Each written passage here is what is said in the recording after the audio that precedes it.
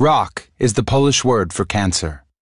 Rak'n'Roll is a Polish charity organization that helps women to recover after mastectomy, a surgical removal of one breast. Dla kobiet to coś więcej niż tylko utrata piersi i powrót do normalnego życia to taki najtrudniejszy fragment choroby.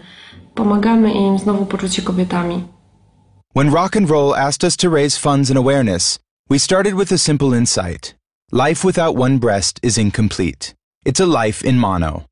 Rak'n'Roll helps women to get their life back in stereo. That's why on October 15th, the European Breast Health Day, we launched Rak'n'Roll Records, a charity record label. It's a startup platform that offers free music in mono and sells it in stereo. All profits help women overcome the trauma of losing one breast. At our store, song by song, people can experience musical mastectomy in mono and then recover their favorite tracks by purchasing them in stereo for 1 euro a song. They can also share their playlists or donate their own tracks.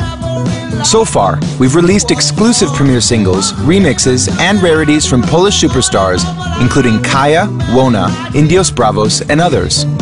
We've also signed dozens of underground talents like Świniary, Zamordism, and Warsaw Dolls. As any other record label, we provide our exclusive content to the radio. To jest premiera w ogóle, tylko w wytwórni Rock and Roll. Nie, to nie był błąd, nie walcie swoje radia, tak powinno być. Piosenka na jeden tylko kanał. Przez chwilę w mono słuchamy syntezy apteki. Rock and Roll Records has already earned over 15 hours of mono music on every major radio station in the country. The artists spread the word even further through social media,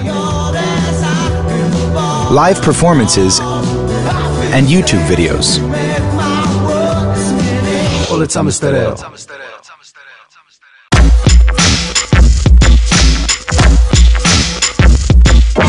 Some of them appeared on national television. Even MTV broadcasted the first mono music video. Rak'n'Roll Records was also featured in hundreds of articles, tweets, and blog posts, reaching 30% of Poles and generating 200,000 euro worth of free publicity. Our exposition at the European Music Expo in Warsaw connected fans, artists, label executives, and media. We also introduced our first physical release, a debut of the punk rock band Holden Avenue.